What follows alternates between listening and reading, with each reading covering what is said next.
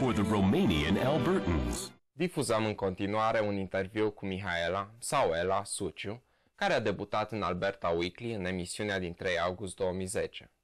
Înainte să emigreze în Canada, ea a urmat vreme de 3 ani cursurile canto ale Școlii Populare de Artă din Constanța, profil muzică ușoară. Acum locuiește în Calgary cu soțul ei și cei doi copii, Lisa în vârstă de 13 ani și Jason în vârstă de 7 ani.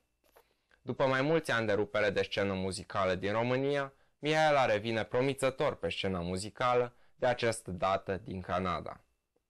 Recent a înregistrat și filmat în Calgary trei piese celebre din muzica ușoară românească, pe care le puteți viziona accesând website-ul programului www.albertaweekly.ca, secția înregistrări video. Producția pieselor a fost asigurată de C21 ETV Inc. O ultimă remarcă. Mihaela a creat diminutivul Ela pentru că se pronunță ușor în limba engleză. Ela reprezintă a doua jumătate a numelui ei, Mihaela. Alberta Weekly.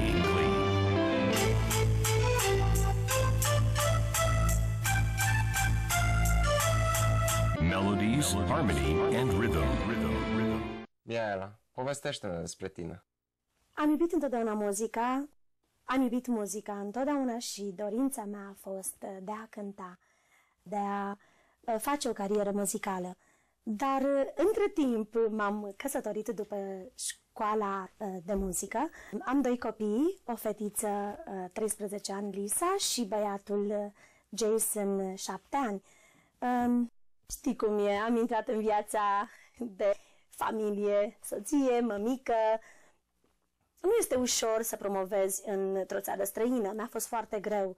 Uh, nu știam prea bine engleză când uh, mă hotărâsem să, să merg și aici la o școală uh, de muzică, dar mi-a fost foarte greu uh, uh, la început. Din moment ce există pasiune, făcut uh, studii muzicale. Da, am urmat Școala Populară de Artă din Constanța cu domnul profesor Adrian Ursurescu, trei ani, cantă o muzică ușoară. În acești trei ani am participat la foarte multe evenimente, concursuri, spectacole, steluțele mării, uh, concursuri care uh, erau între uh, noi, elevii în școlile populare de artă din toate județele. Am avut onoarea să cunosc între timp câțiva compozitori din România, domnul Dumitru Lupu, Uh, domnul uh, Petrache Pechea, care chiar m-a încurajat să merg mai departe și să particip uh, la concursul Mamaia 93-94.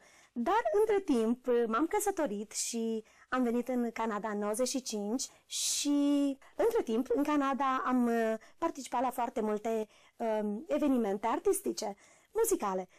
Am cântat la petreceri de Crăciun, um, Chiar am fost invitată uh, de foarte multe ori uh, în Ontario, Windsor, London, Toronto, Detroit, Michigan și în alte părți. Am înțeles că lucrezi la două albume noi. Ne poți spune ceva despre asta? Da, lucrez la două albume. Uh, unul în limba engleză, unul în limba română.